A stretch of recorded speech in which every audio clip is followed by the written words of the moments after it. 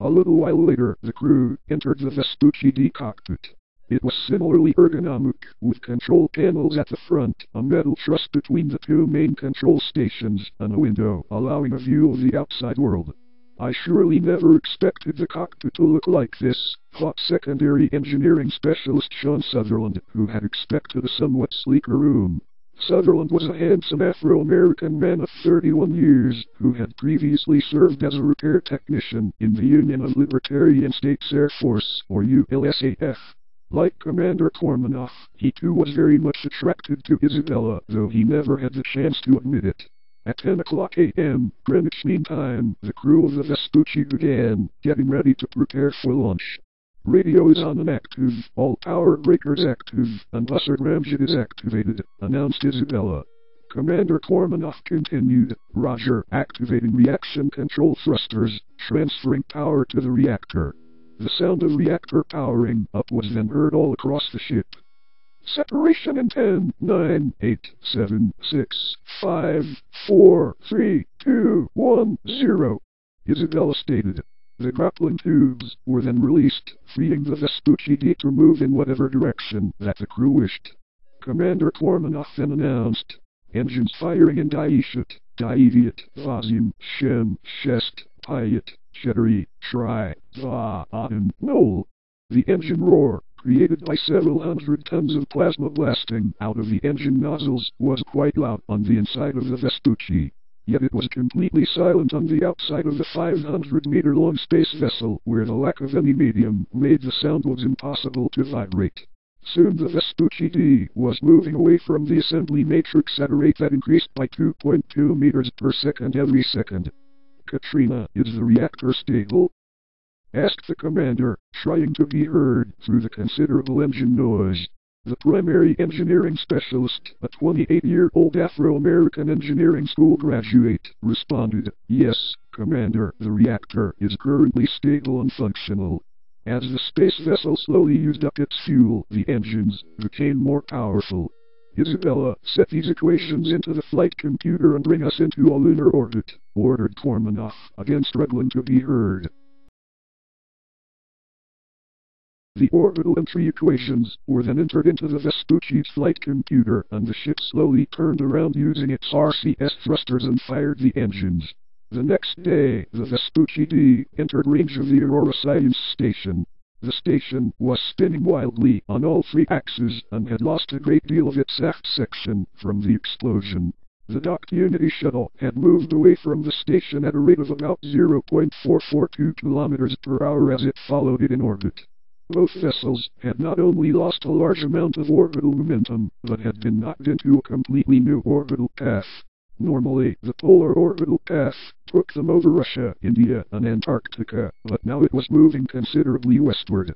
Amazingly, despite the violence of the explosion, the space station was mostly intact. Yuri Kormanoff, Isabella Cellini, Michael Cameron, and Cassie Fry proceeded separately towards the unoccupied hatches and donned their spacesuits. If they had all taken the main hatch at a rate of one at a time, the whole operation would have taken too long. As soon as the decompression process was completed, they disembarked. Their spacesuits were sleek, skin suits that applied pressure to the skin rather than the suit. This made them considerably less bulky than the really old suits of the 1980s. As the pilot and commander moved away from their hatches using the RCS thrusters attached to their suits, Michael and Cassie began looking for the Unity shuttle using a handheld infrared sensor. As Commander Kormanoff and Isabella approached the damaged station, they tried to be careful not to get whacked by the station structure. At the time that the two had about 100 meters left to reach the station, a piece of the station's centrifuge got dangerously close to Isabella and almost hit her helmet, nearly cracking the visor. She then gave the spinning space station the finger and cursed in Italian before returning to normal. Sorry about that, Commander, Isabella apologized. The commander then responded, That's okay, Isabella. I sure wouldn't want to have a cracked helmet, either. At that moment, the two fired their forward-facing suit thrusters to slow down and began to slowly drift towards the station. They then attached themselves to the Aurora station's exterior using a hooked rope and moved down towards the station's docking hatches. The constant motion was somewhat nauseating but the two were experienced enough that they were not affected by the threat of nausea. Commander Kormanoff then started blurting, Hey, Isabella, did you know that my father participated in the construction of the Colores Cosmodrome, something totally unrelated to the current crisis? At that, Isabella responded, That's very interesting, Commander, but can we please focus on the current problem? Those people are going to die within 72 hours unless we get them out of there. Soon, Kormanoff and Cellini were at the docking ports. Isabella then decompressed and opened the closest airlock, and the two began to enter the doomed space station. Isabella detected a slight hint of flirtation in the commander's Russian accented voice. She asked him, Commander, may I ask you a personal question? The commander replied, Sure, why not? The pilot then began, Commander, I know that you are strongly attracted to me, but I think that you should know that I don't feel the same towards you. Can we please just remain acquaintances? Commander Kormanoff gave it some thought, and finally decided that she was right. As a symbolic gesture, the two shook hands. Just out of curiosity, is there anyone to whom you are attracted?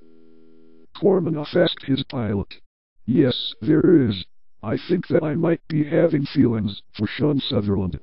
Commander Kormanoff was somewhat surprised, but at the same time understood her. Yeah, he's a fairly attractive man, perfect for such a beautiful and intelligent woman as yourself. I think that the two of you would make a great couple. The Vespucci D had passed the orbit of Mars and into the asteroid belt, a surprisingly clear region with an occasional large piece of pure metal. The crew had encountered a small, previously unnamed binary companion of one of these metal chunks, 710068 Monica Bellucci, which they named 710070 Isabella Cellini. For the past two years, the vessel had been peacefully moving frictionless across the solar system, towards the tiny ice pack of a planet called Pluto.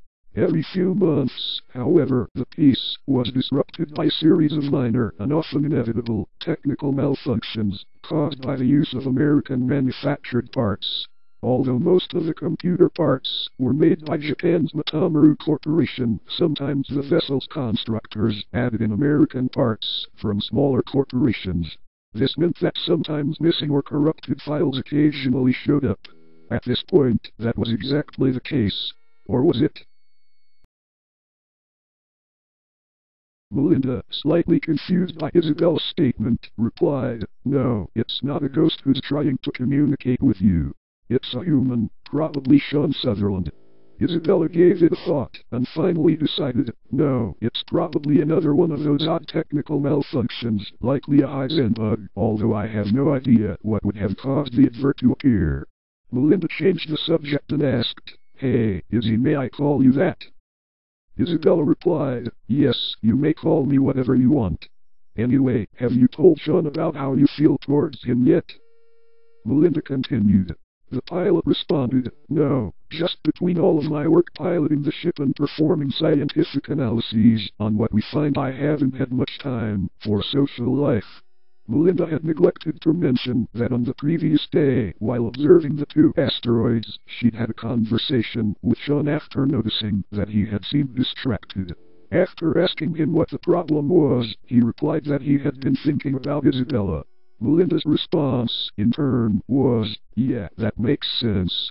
She's certainly very beautiful. Maybe you should tell her how you feel. I'm sure she'll understand. That pretty much concludes this operation. As you can obviously tell, there is plenty more to be explored in this novel. Scifimaster 92 hopes to publish his novel by the end of this year, or possibly sometime next year. Once it is published, you'll get the opportunity to see for yourself where everything is leading up to. In the meantime, I hope you've enjoyed this little sneak peek. This is HAL 9000, signing off.